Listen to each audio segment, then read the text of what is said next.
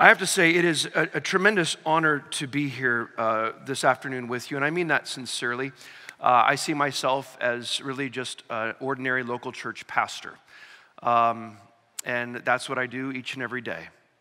And for those of you who are pastors here, uh, my heart goes out to you. Uh, this has been a very difficult season over the past few years. It's been less difficult for us in Florida than it has for you in Michigan, those of you who are from Michigan. But this has been a very difficult season to serve God's people, to strive to keep the church uh, together, unified, from people not hating each other, dividing from each other, growing in vengeance and anger. Um, it's been a difficult season. If you're an elder, if you're a deacon, if you're a pastor, uh, these have been difficult times. And they've been difficult for all of us. And so, if you're not a pastor, if you're not an elder, or please, please encourage your pastor. Please encourage your elders. Please encourage your officers. Please encourage the staff and the receptionists who've received all sorts of different calls and issues and problems from within the church and outside the church. Another reason I'm very grateful to be here speaking on this is that the mission of God is one of my uh, my favorite things to talk about. Uh, it really is and has been the heartbeat of my life and ministry for uh, all my life since becoming a Christian.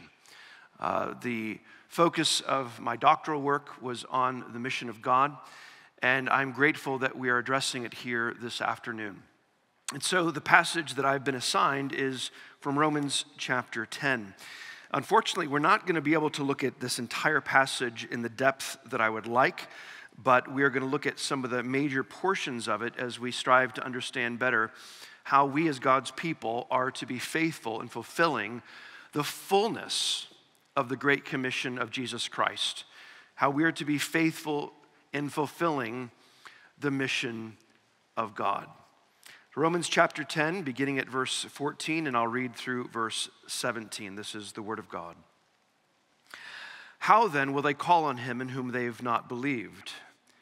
And how are they to believe in him of whom they've never heard? And how are they to hear without someone preaching? And how are they to preach unless they are sent?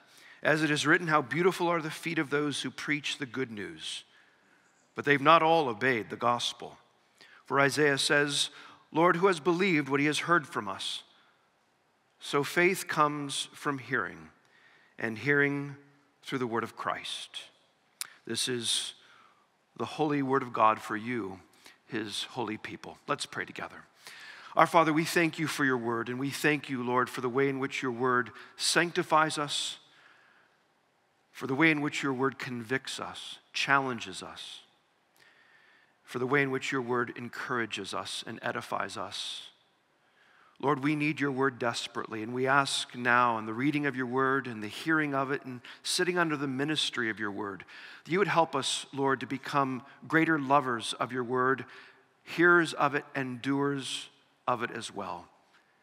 And that in doing so, Lord, you would help us to love you more with all our being and to love our neighbor as ourselves for your glory and your glory alone. Amen. Now, if I were to ask you what is one of the most difficult chapters in all the Bible, I imagine that many of you would say that Romans chapter 9 is one of the most difficult chapters in the Bible.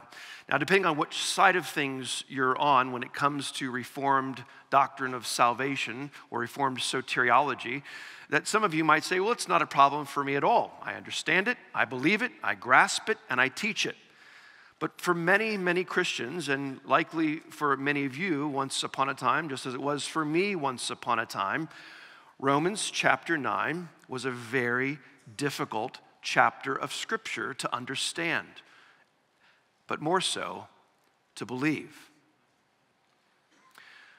Now, one of the things that we fail to grasp and consider when we look at chapter 9 is how Paul begins chapter 9 and even how he ends chapter 9 and into chapter 10. Look with me just quickly at the beginning of chapter 9, There in verse 1 of chapter 9 of Romans, Paul writes, I am speaking the truth in Christ. I am not lying. My conscience bears me witness in the Holy Spirit. Let's stop there for just a moment before going to verse 2. Why is Paul saying all that? Why does he use these qualifiers like great sorrow and unceasing anguish in verse 2? Why does he speak of, of not lying and his conscience bearing witness and saying that he's speaking the truth? Well, of course you're speaking the truth, Paul. We wouldn't expect anything less from you. It's because Paul really wants us to pay attention to what he's about to say, and he wants us to take him seriously. He wants us to know that he's not just saying this, that this really is how he feels. And how does he feel? Verse 2 I have great sorrow and unceasing anguish in my heart. For I could wish that I myself were accursed and cut off from Christ for the sake of my brothers, my kinsmen, according to the flesh.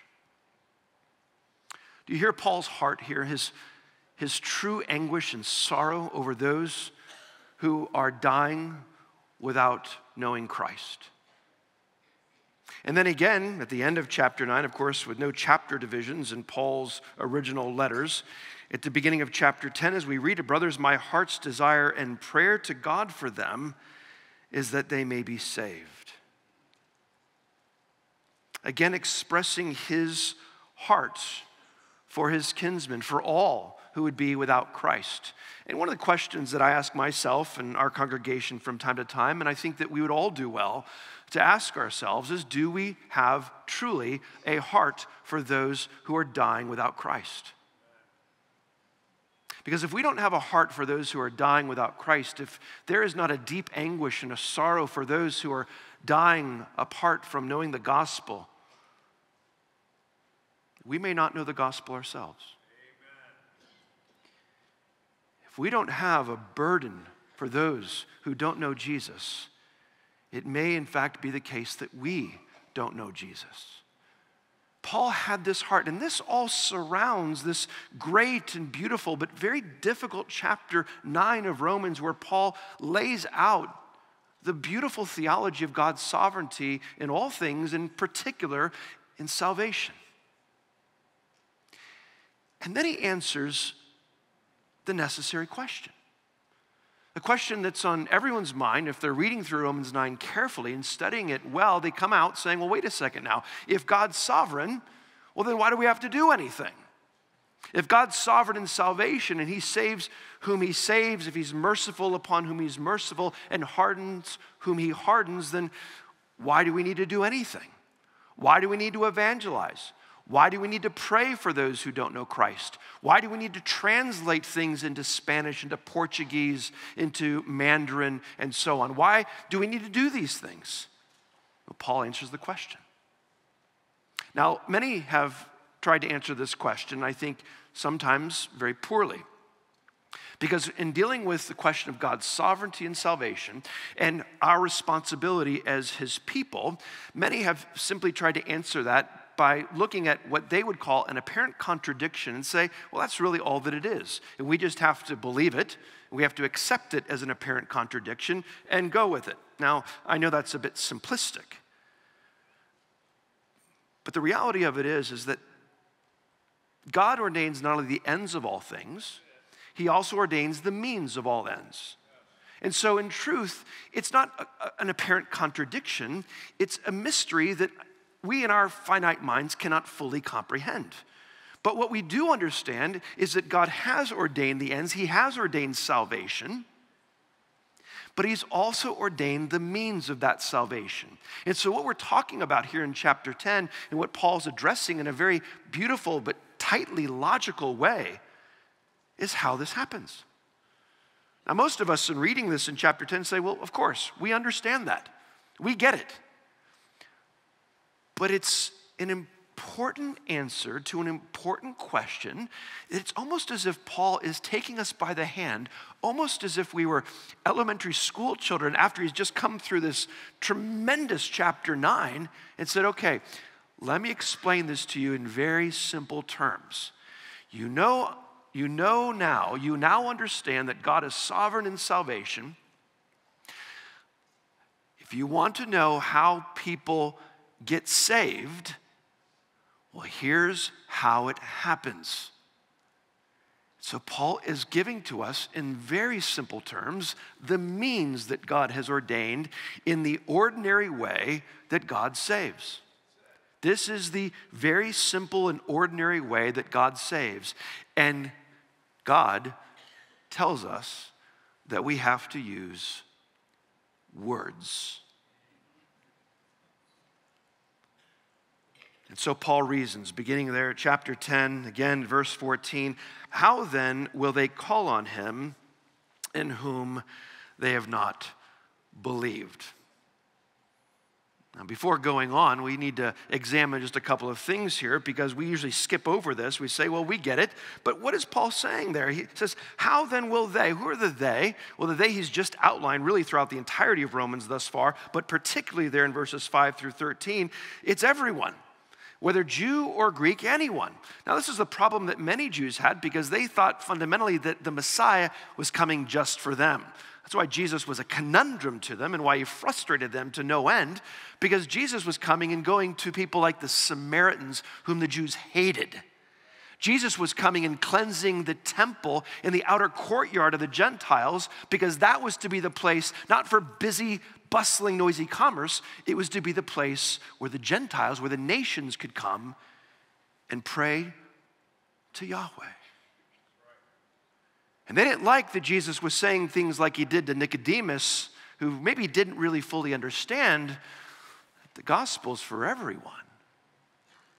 For God so loved the world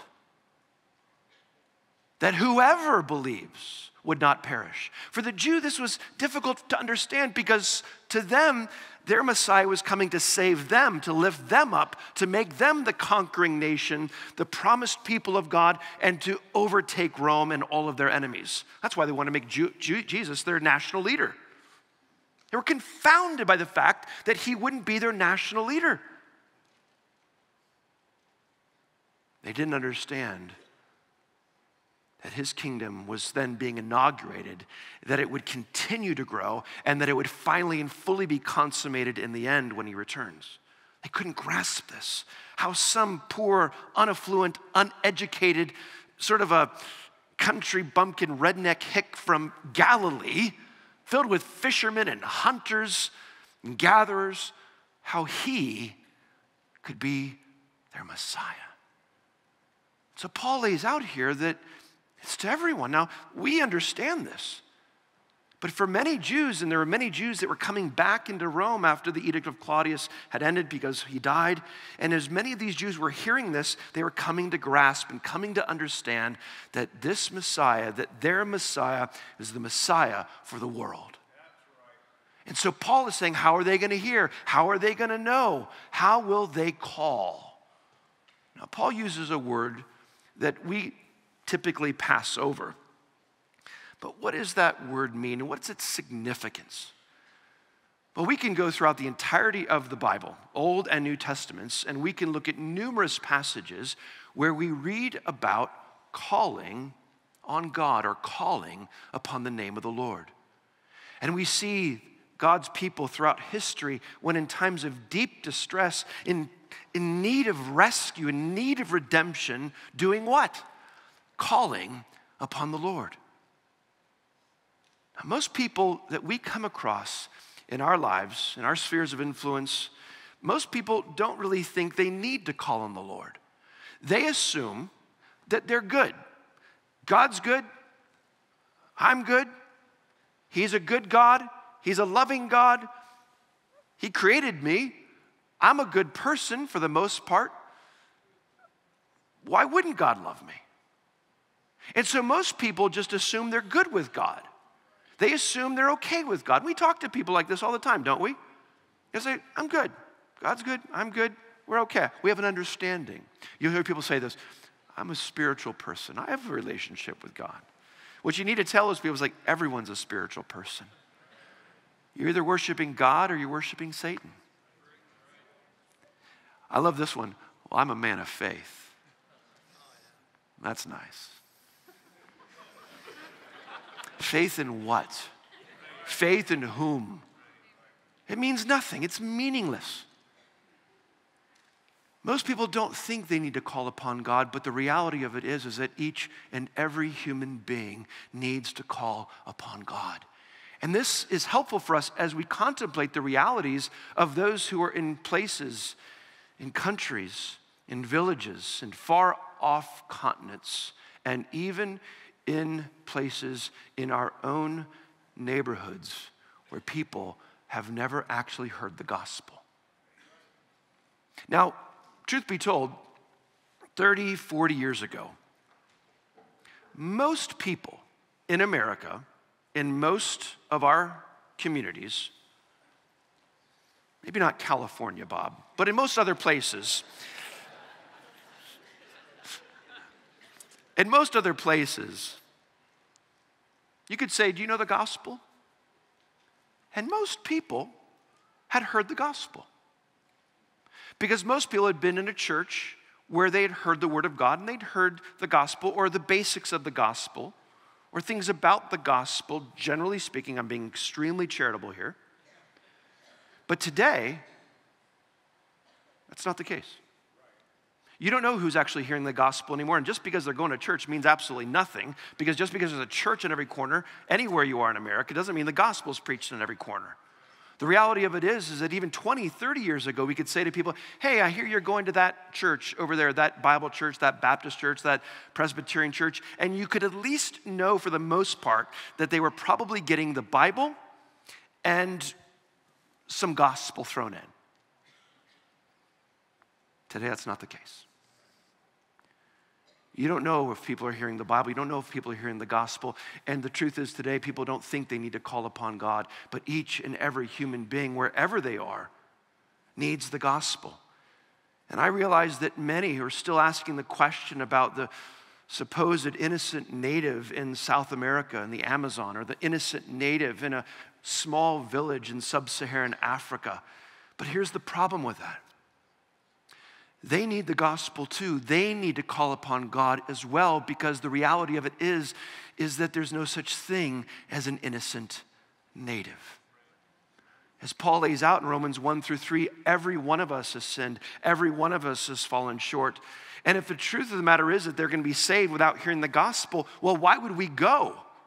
Why would we go and give them an option and risk them not receiving the gospel? Risk them rejecting the gospel and coming under the judgment of God. Well, they're under the judgment of God, and that's why we go. We go because they need to know that they need to call upon God. We need to go and we need to send and we need to do all that we need to do in fulfilling the fullness of the Great Commission because people don't even know that they need to call. So Paul reasons how then will they call on him on who they've never believed? And how will they believe in him of whom they've never heard? It's hard for us to imagine the unreached peoples who've never heard the gospel. Now, we realize that in history, even in the apostolic era that the gospel, in many ways, went to the uttermost parts of the earth. This is a very important point that we need to understand. I'm preaching right now through the Gospel of John in the mornings and in the Acts of the Apostles in, on Sunday evenings. And one of the things we're seeing on Sunday evenings is how the gospel is going, in one sense, to the uttermost parts of the earth. Even as Philip ministered and baptized to the Ethiopian eunuch who went back to Ethiopia and was very likely the first missionary to Africa. And at that time, Ethiopia was a mighty, mighty country with a mighty army and very wealthy. He was the first missionary, likely, to Ethiopia and to the rest of Africa. But it's hard for us to believe that there are people who still haven't heard the gospel. But more and more we're seeing this, and more and more we're understanding this, especially when you go to Central and South America, where really the Reformation is coming for the first time. They never really got the, the, the full effects of, of the Reformation, again, kind of like California. This is why Bob is still there. He's on a mission. He sees himself as a missionary to California.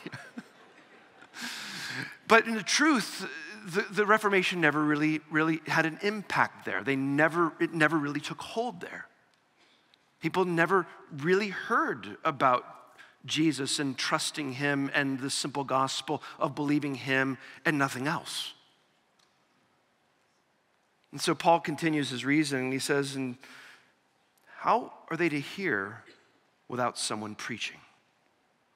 Now, other translations say, How will they hear without a preacher? And that's really not the best translation. This is a better translation because I think many times when we read that, How will they hear without a preacher, that most of us immediately think of those who are ordained pastors, ordained ministers. I think that's how many Christians think, that it's the job of the pastor, it's the job of the preacher. Well, first of all, we need to understand that preacher is not an office in Scripture. The office in Scripture is pastor. Preaching is something that pastors do. But it's very important that we understand that and make that distinction. Because the reality of it is, if my job were only preaching, my job would be pretty easy. It's the pastoring that's hard, it's the shepherding it's the shepherding among shepherds and the shepherding alongside of shepherds, the shepherding walking among the sheep, the daily work of getting dirty and hurt. That's the work of the pastorate. Every one of us is a preacher. Every one of us is called to preach the gospel, proclaim the truth. Now, some of you say, Well, I'm not very good at that or I don't really have many opportunities for that. Do you have any opportunities ever? I'll tell you what. Coming to corporate worship on the Lord's Day, coming to gathered worship, is in part fulfilling the fullness of the Great Commission. Because what does the Great Commission call us to do? As Dr. Nichols mentioned earlier today, it's about discipleship. Discipling, and what does discipleship entail? It entails learning, as Jesus said, teaching them to do what? Teaching them to observe or keep or guard all that I've commanded.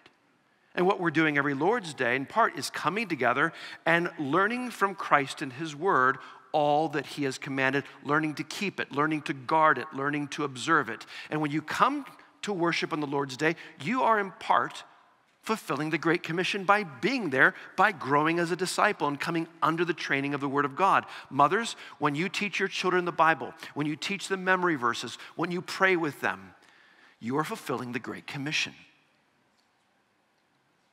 The ordinary work that we do and the ordinary lives that we have in sharing the gospel with friends, in encouraging brothers and sisters in Christ, in encouraging our pastors, in speaking truth to them, in taking opportunities when they arise to present the gospel, to proclaim the truth, to give a rebuttal, to declare the antithesis, to say that's not actually that's not actually true. Or that's not actually what we believe as Christians. Or let me tell you what Jesus said. These opportunities that we have in our lives are preaching, teaching, proclamation opportunities, and we ought to pray for them and look for them. And when we do, you should not be surprised when the Holy Spirit brings them your way, because He will.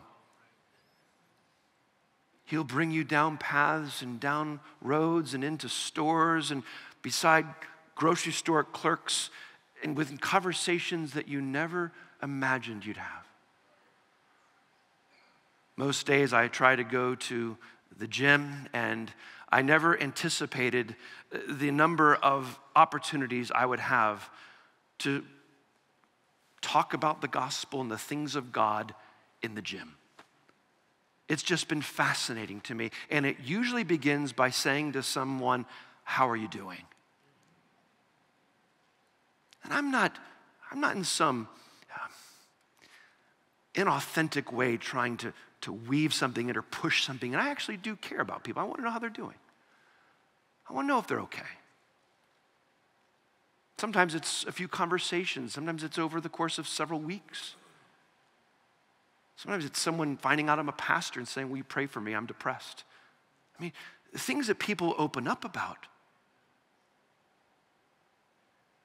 We're all preachers in that sense. And in that sense, we're all on mission. Now, we may not want to say that we're all missionaries per se. If we want to reserve that language for foreign missionaries, that's fine. But we are all on mission. You see, we are all ambassadors of Christ, we are all his witnesses to the uttermost parts of the earth.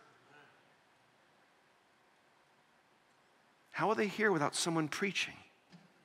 And how are they to preach unless they're sent? And this is an important point, and it goes to what Dr. Godfrey was speaking of earlier and the importance of the local church and the authority of the local church. Notice that they're sent. One of the greatest problems that we have in the church in many parts of the world, not just in Africa, not just in Central and South America, but right here in these United States, is self appointed preachers, self appointed prophets, and self appointed prosperity preachers. They're not sent. No one sent them, they're self appointed. Maybe a group has gathered around them and sort of lifted them up, but they've not been sent by an authoritative body of believers to say, go and preach the gospel. I'm speaking in general terms, of course, there are exceptions, but they're sent. We send missionaries, we send pastors, we commission them with our blessing, with our funding. We send them off with our prayers and with our love and care. And if you're not going yourself and you're staying, then your call is to pray and to give generously, to support, to come alongside. And quite frankly, just what Chris was talking about and what Humphrey Manny were talking about, here's what we're trying to do. As we're trying to send things, send resources to help pastors and missionaries wherever they are, indigenous peoples preaching the gospel, planting churches in their own communities so that the Great Commission might be fulfilled, so that God might be glorified, and the end for which God created the world might be fulfilled.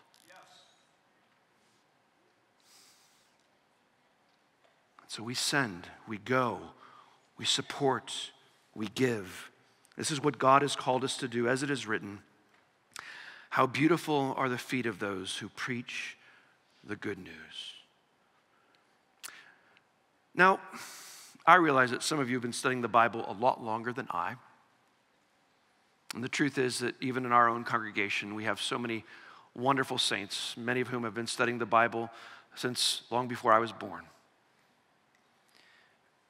And I've talked with them over the years, and I love, I love hearing.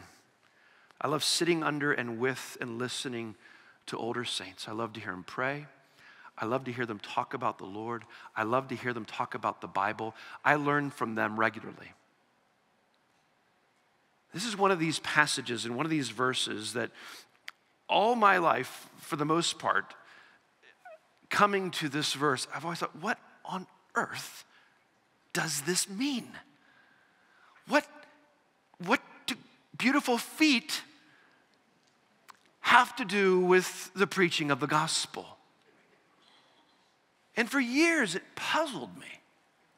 It still puzzles me a little bit. But before we get to that, I want to ask the question about what it is we're called to preach. How beautiful are the feet of those who preach the good news. Paul says that it's by the preaching of the good news, that's how faith comes. So faith comes from hearing. Hearing what? Hearing the good news, hearing the word about Christ or the word concerning Christ. It's the gospel, the good news. Well, what is the good news? I bet if I went around the room today, and I realize that we come from different backgrounds, different denominations, uh, most of you, I trust, have been Christians for many, many years. Some perhaps are younger Christians, newer Christians. But if you're here at Ligonier National or Ligonier Conference, my guess is you're pretty well steeped in the gospel. You know what it is, Perhaps you've taken courses. You could explain it quickly. But I have found in my life that many people, many people don't really actually know what the good news is. Now, not any of you, of course. But let's talk about it for just a moment. First of all, we understand that it's good news. The gospel, and we could deal with the etymology of that word, which we don't need to, but good news is just that it's news that is good. You say, okay, we got it. Let's move on now. But we have to think about that for just a moment. What does that mean? It's, it's good news. It's news that is good. It is an announcement. It is a message that is good. Now, when you look at the term gospel or good news as it is here in Romans 10, and you consider it throughout the New Testament, the truth is, is that the, the, the, word is used to describe a few different things. Sometimes it's used to describe uh, the entirety of a gospel account, such as Matthew's gospel or John's gospel. Sometimes it's used to speak of the entire teaching of Jesus' ministry, everything that he taught. Sometimes, as Paul uses it, I think even in Romans, he's using it to speak of the entire message that he's bringing and all the theology that comes with it. It seems to me that in Romans, when he speaks about the gospel that's the power of God into salvation, notice he doesn't say the power is in the preacher, the power is in his charisma, in his personality. The power is in how good looking he is, how articulate of communicator he is, how eloquent he is. The power is in the gospel. That's where the power is. That he's speaking of likely his whole message, everything that he's bringing in his letter to Rome. But when you drill down to what Paul is dealing with here in Romans 10 and how it's, it's used here, it seems that what Paul is doing here, what he's saying here, is he's, he's giving to us the, the, the most basic, the most basic explanation or definition of what the gospel is. It's good news. That it's the good news of what God has done for his glory through his Son, our Savior, by the power of the Holy Spirit, all that God has accomplished to bring that about the life and ministry, the death, the resurrection, the ascension, the promised second coming, the inauguration, continuation, and the building and consummation of his kingdom. That this is good news. Now, a lot of people say, well, is that it? Well, we could add different aspects.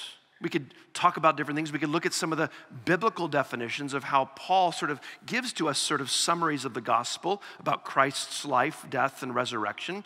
But at the end of the day, the good news is just that it is the victorious announcement of what God has done. Now, you notice something. I didn't mention, just hang with me here. I didn't mention repentance, did I? I didn't even mention faith. I didn't mention taking up your cross and following Christ. You see, those commands, and notice they're commands, they're not simply invitations. Jesus never invited anybody to come to him, he commanded it.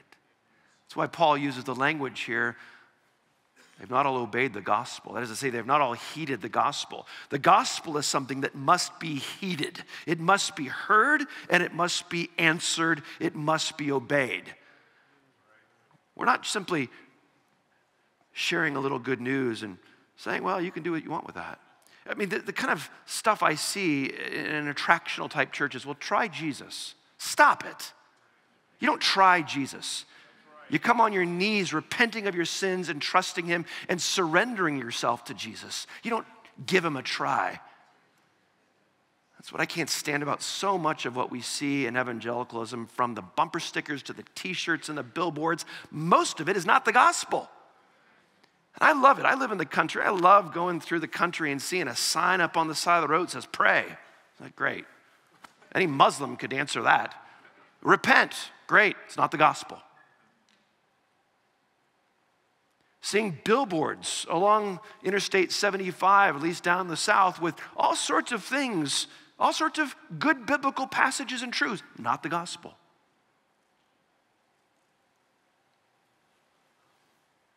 The call to repent, the call to believe, the call to follow me, as Jesus said to his disciples, the call to take up your cross, the call to die to yourself, all of that comes right on the heels of the gospel. It is a necessary part of the preaching of the gospel, but in and of itself, it's not the gospel. You see, the gospel must be preserved as that good news. Notice that in the good news, the announcement of what God has done through Christ for his people comes with no threats in it, no warnings in it. It's good news.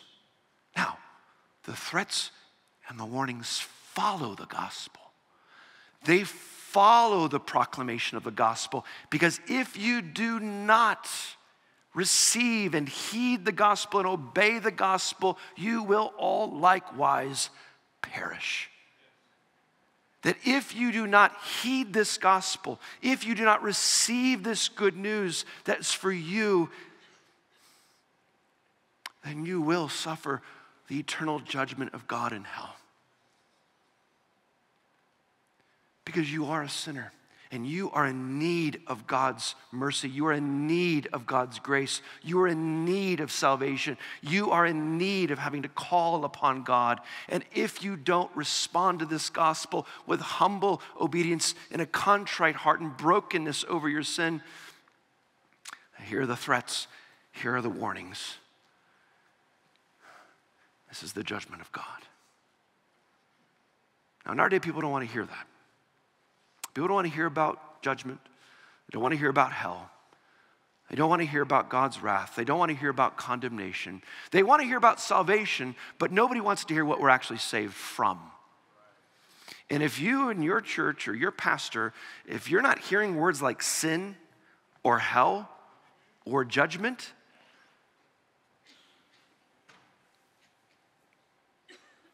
you may not be hearing the gospel.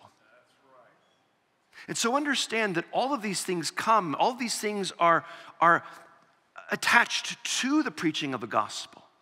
But it's very important that we preserve, as our faithful forefathers have throughout history, preserve the good news of Jesus Christ. It is good news, it is an announcement.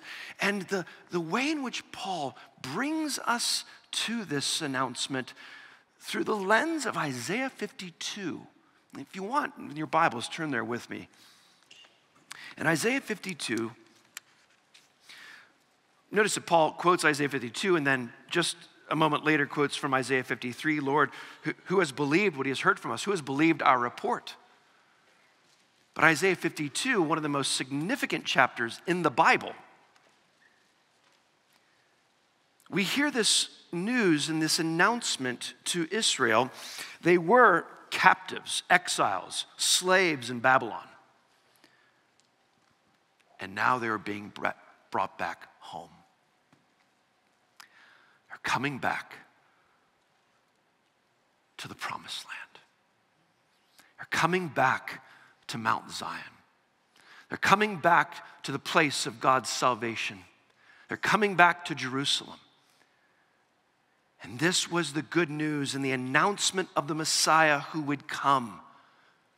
And here's what we read in Isaiah 52 in verse 7 How beautiful upon the mountains are the feet of him who brings good news, who publishes peace who brings good news of happiness, who publishes salvation, who says to Zion, Your God reigns. The voice of your watchmen, they lift up their voice. Together they sing for joy, for eye to eye they see the return of the Lord to Zion. Break forth together into singing, you waste places of Jerusalem, for the Lord has comforted his people. He has redeemed Jerusalem. The Lord has bared his holy arm before the eyes of all the nations, and all the ends of the earth shall see the salvation of our God.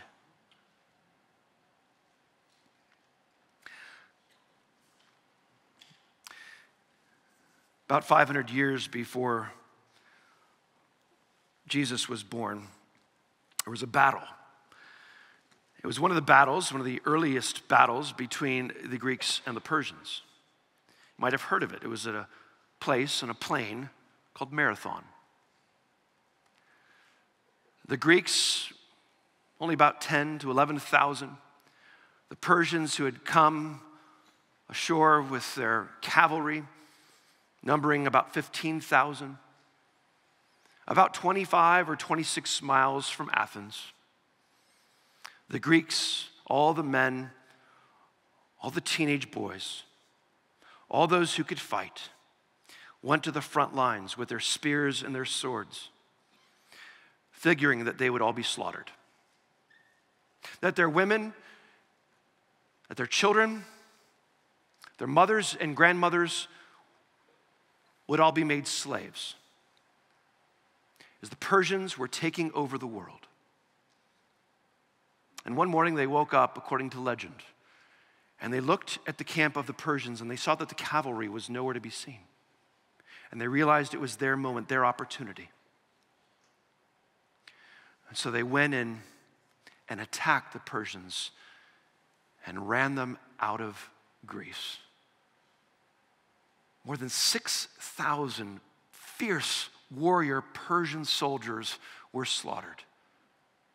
And as soon as they won the battle, what was the first thing they did? They sent a messenger to run those 26 miles thereabouts all the way back to Athens.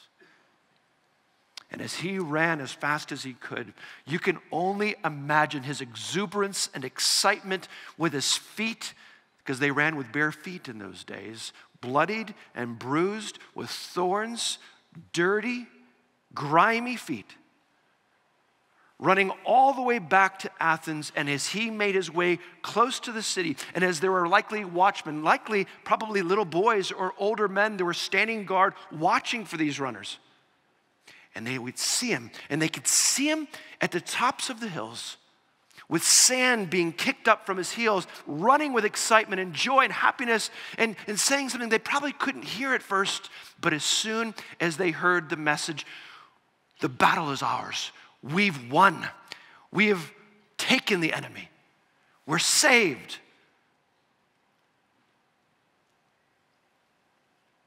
You see, the watchmen, first thing they could see was the sand and the dirt being churned up from the runner as he came upon the hills, as he came upon the plains, as he came upon the mountains, running to his city to give the good news. That's why Paul and with Isaiah can say how beautiful upon the mountains are the feet of him who brings the good news.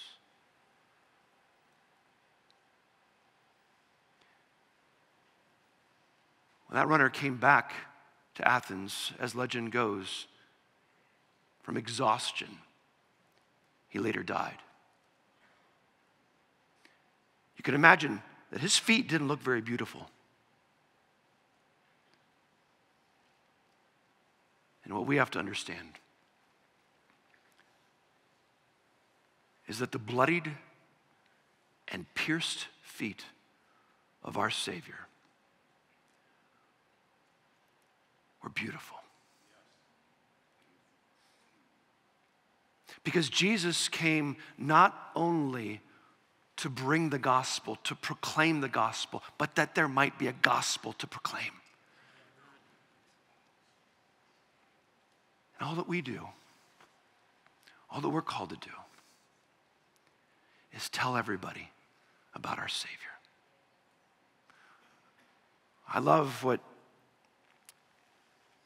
Zinzendorf, Count von Zinzendorf, said at some point in his life from Moravia. As a pastor, he desired simply to preach the gospel, to die, and to be forgotten. We will all die unless the Lord comes first, and we hope He does. But our lives, our legacies, who we are, the time that God has given us, let it be time given to pointing people to Jesus. Let's pray together. Our Father in heaven, we thank you.